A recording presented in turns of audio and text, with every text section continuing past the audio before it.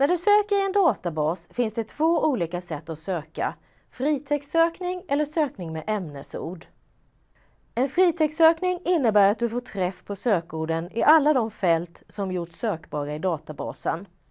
Du kan få träff på dina sökord i titel, författare, ämnesord eller abstract-fält. Men också i någon annan del av materialet som gjorts sökbart, till exempel fältet med författarens egna nyckelord, keywords. Och ibland kan det även innebära att hela texter söks igenom, så kallad fulltextsökning. Då kan du bland annat få träff på ditt sökord i artikelns referenser. Och det här gäller till exempel när du söker i Google Scholar. När du gör en fritextsökning är du begränsad till det ord som förekommer i referenserna i databasen. Det vill säga att du hittar material där författaren använt samma termer som du själv använder i din sökning. Kom ihåg att ett och samma ämne kan uttryckas på olika sätt med olika synonymer eller närliggande begrepp. Du måste därför själv tänka på synonymer, stavning och olika grammatiska former som singular, plural, adjektiv och substantiv om du vill få träff på alla relevanta artiklar. Fritextsökning är ett brett och enkelt söksätt. I exemplet har jag sökt på ordet Apple med trunkering, vilket ger mig träff på Apple och Apples med flera, i artikelns titel, i ämnesorden, i abstract och ibland till och med i artiklarnas referenser beroende av vilka fält som gjorts sökbara i databasen.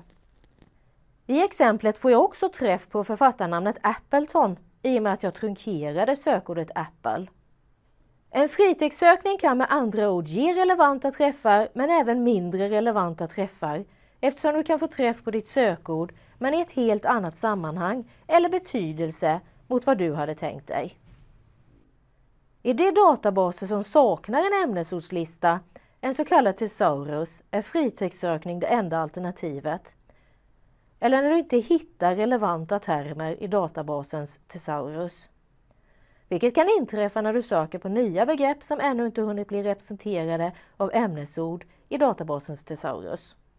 Google Scholar är ett exempel på en informationsresurs som saknar thesaurus vilket betyder att här är det enbart fritextsökning som gäller. Ett tips för att styra din fritextsökning är att söka i olika fält, så kallad fältsökning, vilket ofta ger ett bättre och mer precist resultat. Du söker till exempel på författarens efternamn, artikelns titel eller ett ämne enligt sökformulärets anvisningar. En fritextsökning är ett bra sätt att börja och komma igång med sin sökning. Vilka funktioner och sökmöjligheter som finns tillgängliga i respektive databas kan variera, så kontrollera i hjälptexten vad som gäller i de databaser som är aktuella för dig.